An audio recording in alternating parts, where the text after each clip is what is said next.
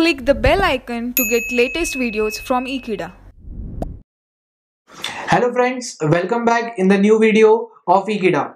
In this video, we are going to see the 11th problem which is based on function. So without wasting any time, let us start.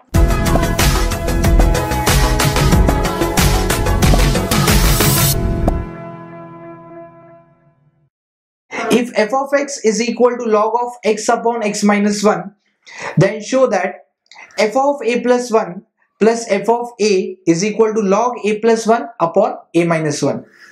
So again, the given part is f of x that is log x upon x minus 1. If you see in the LHS we need two terms. First is f of a plus 1, second is f of a. So let us consider the LHS. That is f of a plus 1 plus f of a. So in the function f of x, we are going to replace x by a plus 1. So log as it is, we have x in the numerator, that part will be taken place by a plus 1. Upon x, again x will be replaced by a plus 1 and further we have minus 1 also. Plus f of a, same function but x will be replaced by a. So this will be log a upon a minus 1.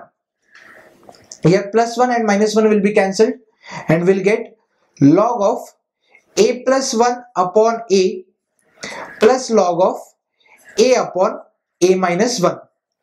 If you consider the RHS, we know that there is only single log term in the RHS and right now we have two log terms so again we'll use that property that is log a plus log b also called as product rule of logarithm so log a plus log b is log ab that is a plus 1 upon a into b. What is b? A upon a minus 1 so we use the property log a plus log b is equal to log ab so here a will be cancelled and we'll get log of a plus 1 upon a minus 1 and that is exactly which we want in the RHS. So that is equal to RHS.